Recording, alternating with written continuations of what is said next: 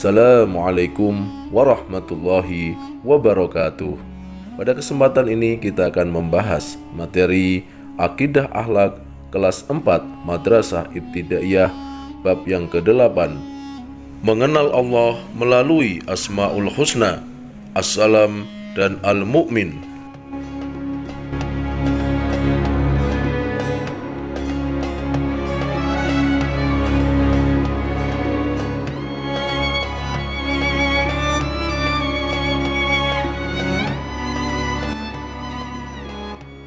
Mengenal sifat Assalam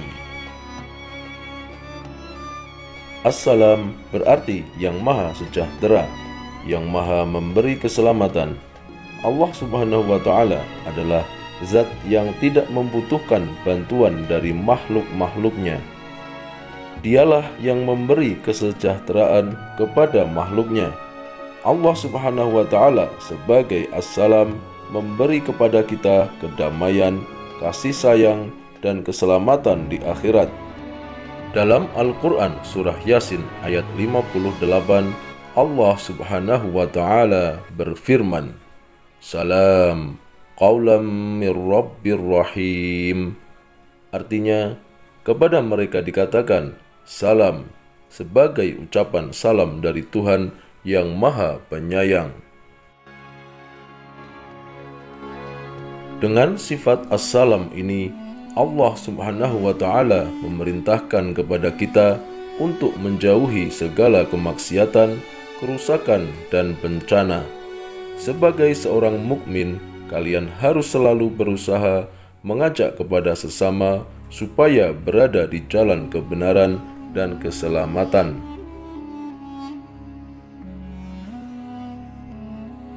Mengamalkan sifat Allah Subhanahu wa taala assalam dalam kehidupan sehari-hari.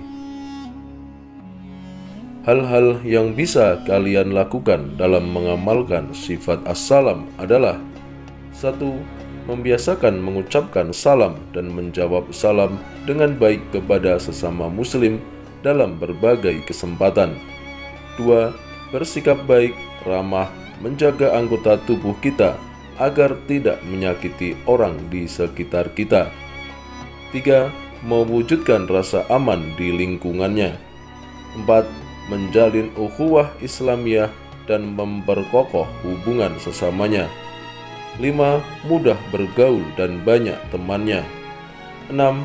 Menolong orang lain yang membutuhkannya.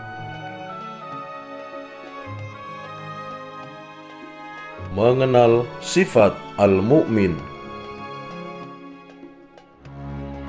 Al-mu'min berarti yang maha menjaga keamanan. Allah subhanahu wa ta'ala adalah zat pemberi keamanan. Dia pelindung bagi orang-orang yang meminta perlindungan kepadanya.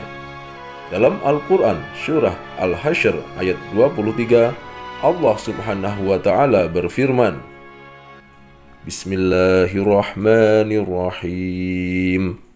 Wallahu alladhi la ilaha illahu Al-Malikul Quddusus Salamul Mu'minul Muhaiminul Azizul Jabbarul Mutakabbir Subhanallahi amma yushrikun Artinya, dialah Allah yang tiada Tuhan selain dia, Raja, yang maha suci, yang maha sejahtera, yang mengaruniakan keamanan, yang maha memelihara, yang maha perkasa, yang maha kuasa, yang memiliki segala keagungan.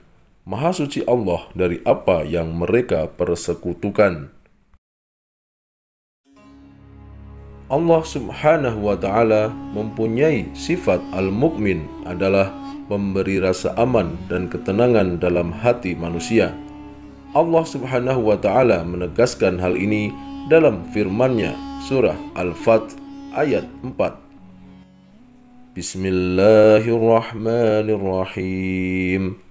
والذي أنزل السكينة في قلوب المؤمنين ليزدادوا إيمانا مع إيمانهم ولله جنود السماوات والأرض وَكَانَ اللَّهُ عَلِيمًا حَكِيمًا Artinya, dialah yang telah menurunkan ketenangan ke dalam hati orang-orang mukmin supaya keimanan mereka bertambah di samping keimanan mereka yang telah ada. Dan kepunyaan Allah lah tentara langit dan bumi dan adalah Allah maha mengetahui lagi maha bijaksana. Mengamalkan sifat Allah subhanahu wa ta'ala al-mukmin dalam kehidupan sehari-hari. Hal-hal yang bisa kalian lakukan dalam mengamalkan sifat al-mukmin adalah satu Bersikap yang ramah dan sopan santun kepada sesama.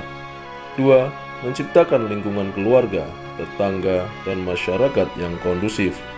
Tiga, Menciptakan suasana kelas yang menyenangkan.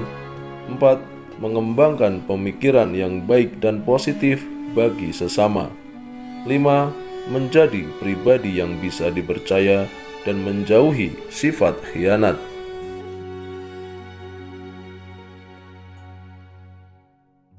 Demikianlah pembahasan materi Akidah Akhlak kelas 4 Madrasah Ibtidaiyah bab ke-8 mengenal Allah melalui Asmaul Husna, Assalam dan Al-Mu'min. Semoga bermanfaat. Wassalamualaikum warahmatullahi wabarakatuh.